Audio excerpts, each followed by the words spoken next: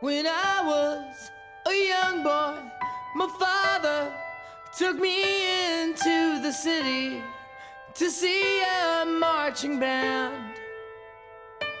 He said, Son, when you grow up, would you be the savior of the broken, the beaten, and the damned?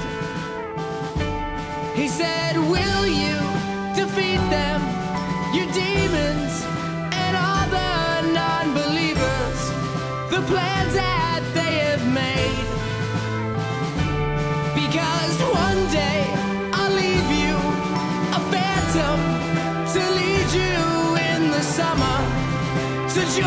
the black parade.